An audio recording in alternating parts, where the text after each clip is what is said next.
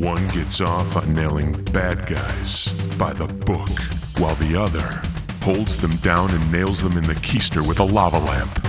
Browneye. A cop show like you've never seen before. This fall on SketchTelevision.tv.